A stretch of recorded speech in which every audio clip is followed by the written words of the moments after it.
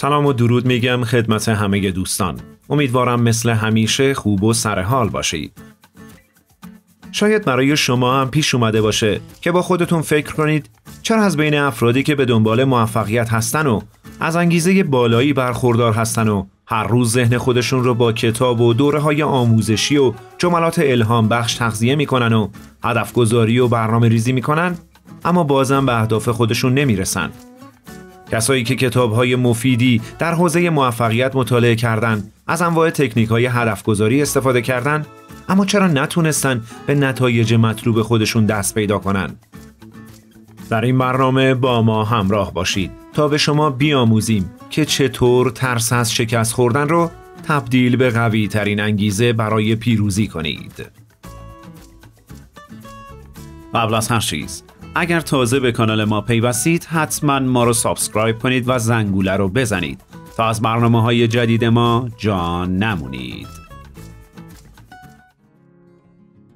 همه افرادی که به دنبال موفقیت واقعی هستند به هدفمند بودن تاکید دارن. همونطور که همه می‌دونیم بدون هدف به جایی نمی‌رسیم.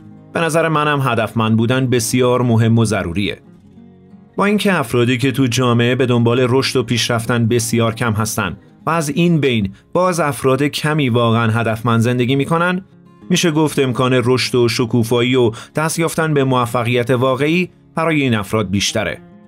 اما گاهی افراد به دلایلی از جمله تنبلی و اهمالکاری از ادامه مسیر سر باز می‌زنن یا هستن افرادی که تو شروع کار وقتی با چالش های مسیر آشنا میشن از ادامه مسیر خودداری می‌کنن و یا ترس از شکست و شروع کردن باعث میشه اونها به همون زندگی روتین خودشون برگردن.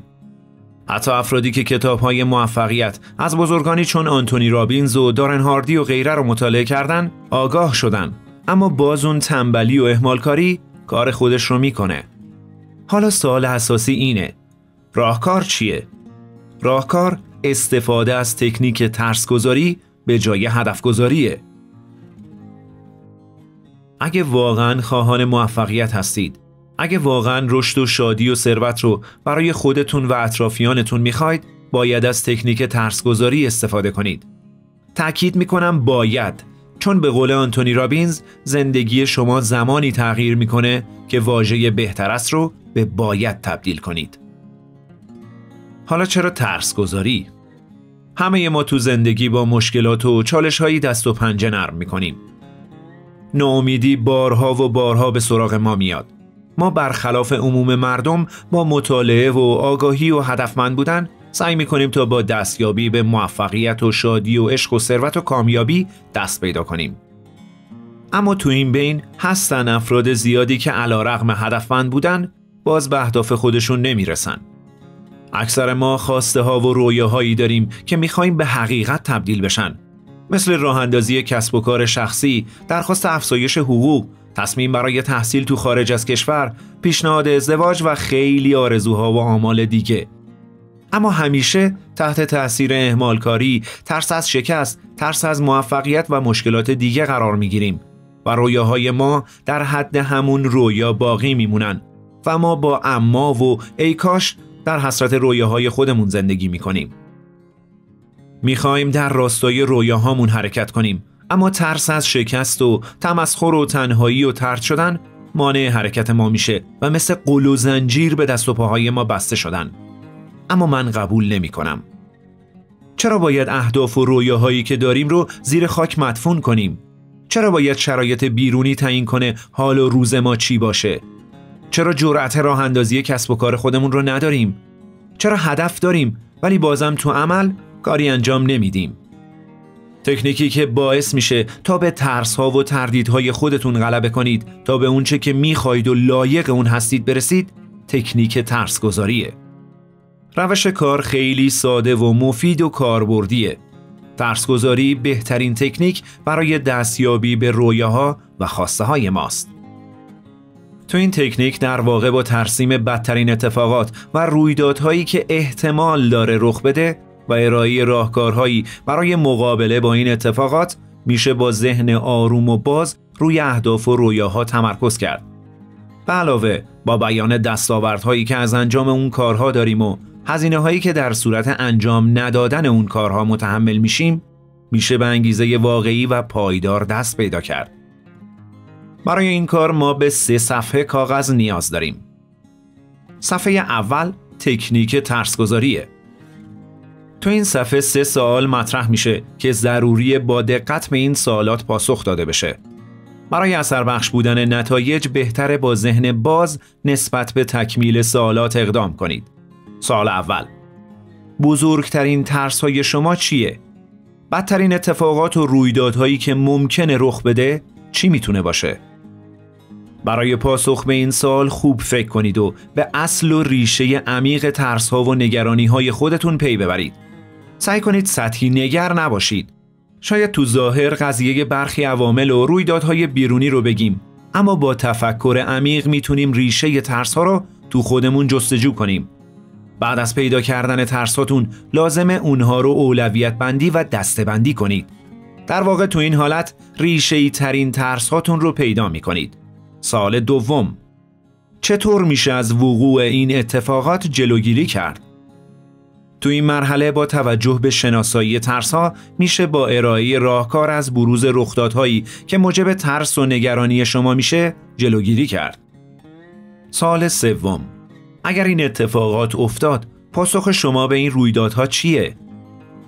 تو این بخش با فرض اتفاق افتادن بدترین حالات ممکن عکس عملهای ما مشخص میشن در واقع نتایج ما حاصل برایند رویدادها و پاسخ ما به اون رویدادهاست. میشه با آگاهی و شجاعت حتی شرایط نامساعد رو به فرصتی خوب برای رشد تبدیل کرد. حالا میریم سراغ برگه دوم. تو این مرحله باید این سوال رو از خودمون بپرسیم. اگر با اون ترس ها روبرو بشم و اونها رو شکست بدم چه مزایایی رو به دست میارم؟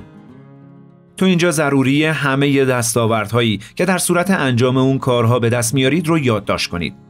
خواهشان فقط دستاوردهای مادی خصوصا پول رو ننویسید بلکه همه دستاوردهای فردی از جمله عزت نفس، اعتماد به نفس، ارتباط و رشد شخصی و فکری و ذهنی و معنوی و جایگاه اجتماعی یا هر چیز دیگه ای رو که ممکنه به دست بیارید یادداشت کنید. میریم سراغ برگه سوم و سوالی که باید اینجا مطرحش کنیم. اگر اون کارها را انجام ندی چه هزینه هایی رو متحمل میشی؟ این عواقب ممکنه کوتاه مدت یا بلند مدت باشه. مثلا شش ماه بعد، یک سال بعد، پنج سال بعد.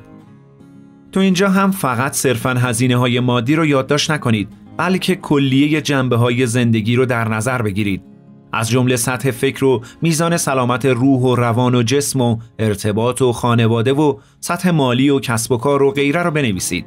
در صورت انجام ندادن متحمل چه هزینه هایی میشید؟ برای نمونه بذارید در مورد تکنیک ترسگذاری یک مثال کامل بزنیم. به عنوان نمونه میشه این سوالات رو به این صورت پاسخ داد. سال اول بزرگترین ترس های شما چیه بدترین اتفاقات و رویدادهایی که ممکنه رخ بده چی می‌تونه باشه؟ فرض کنید شخصی قصد راه اندازی کسب و کار خودش رو داره اما مدام با خودش میگه بیکار بشم، پول نداشته باشم چی؟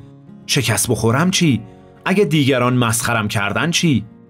موارد زیادی از ترس ها و نگرانی ها رو میشه اضافه کرد اما اینجا فعلا به همین سه مورد اکتفا می‌کنیم. سال دوم چطور میشه از وقوع این اتفاقات جلوگیری کرد و سال سوم اگر اتفاق افتاد راهکار چیه در مورد بیکار شدن مثلا قرار نیست حتما همه پلهای پشت سر رو خراب کرد میشه دایره ارتباطات رو حفظ کرد تا احیانا اگر مشکلی پیش اومد راه برگشتی باشه تا برای آینده دوباره برنامه ریزی کرد یا در نهایتش پیدا کردن کار جدیده یا حداقل مدتی مسافر کشی کردن و هر کار دیگه‌ای که باشه مهم اینه که تو دنیای متغیر امروزی در عصر تحولات سریع قدرت ریسک هوشمندانه رو داشته باشیم. در مورد شکست خوردن موضوع جالبه. باید ابتدا شکست خوردن رو تعریف کنیم. متاسفانه برداشت اکثر مردم از شکست اشتباهه. شکست به معنای اشتباه کردن نیست. شکست یعنی درجا زدن. شکست یعنی اینکه هیچ کاری نکنی و انتظار رشد و پیشرفت رو داشته باشی. این یعنی شکست. برفرض مسیری رو طی کردید و حتی برفرض متوجه شدید اشتباه رفتید این بهتر از اونه که هیچ کاری انجام ندید در مورد مورد تمسخر واقع شدن هم طبیعیه. خیلی از بزرگان جهان تو برهی از زندگیشون این اتفاقات رو تجربه کردن و طبیعیه. مثلا وقتی لیدی گاگا شروع به خوانندگی کرد خیلیا بهش گفتن صدای تو به درد خوندن نمی‌خوره. ولی الان لیدی گاگا یکی از خواننده های موفق و معروف دنیاست و الان اونها معلوم نیست کجان.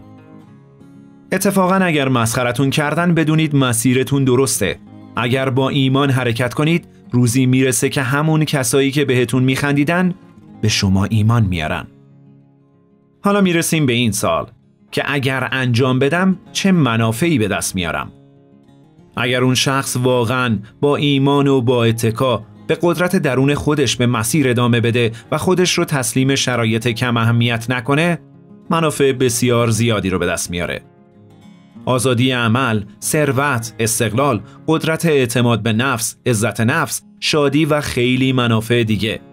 تصور این دستاوردها بسیار زیباست و قطعا امکان پذیره اگر با ایمان حرکت کنیم.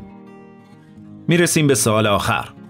اگر اون کارها رو انجام ندی چه هزینه هایی رو متحمل میشی؟ اگر اون شخص این کارها رو انجام نده همیشه تو حسرت رویاهای خودش میمونه. حسرت و رنج از کاری که دوست نداره مدام اون رو آزار میده. احساس منفی و رنج اون رو نابود می‌کنه. واقعا چقدر زیباست که با ترس هامون روبرو بشیم و اونها رو شکست بدیم. دلیل اکثر شکست های ما در رسیدن به رویاهامون ترس و نگرانی هایی که در اکثر موارد همین ترس ها بیجاست. برفرض حتی اگر قرار باشه رخ بدن میشه با تدابیری که با تفکر عمیق از قبل اندیشیده میشه اونها را از بین برد و یا اثرات اونها رو کاهش داد و یا اگر هیچ چاره ای برای اون نبود که تو اکثر مواقع اینگونه نیست میشه با آمادگی قبلی با اونها مواجه شد و حتی تهدیدات رو به فرصت تبدیل کرد. اگر ترساتون رو بشناسید و عواقب انجام ندادن کارهاتون رو بدونید مطمئن باشید انگیزه بیشتری برای موفقیت و تلاش دارید. آیا ترساتون انقدر بزرگ هستن که اگر از این سیستم استفاده کنید ترساتون باعث بشن به اهدافتون برسید؟ آیا ریشه ای ترین ترساتون رو می‌شناسید؟ پاسختون رو در کامنت ها برامون بنویسید. ما همیشه منتظر شنیدن نظرات خوب شما عزیزان هستیم. فراموش نکنید ما هر روز منتظر موفقیت تک تک شما عزیزان هستیم. پاینده باشید.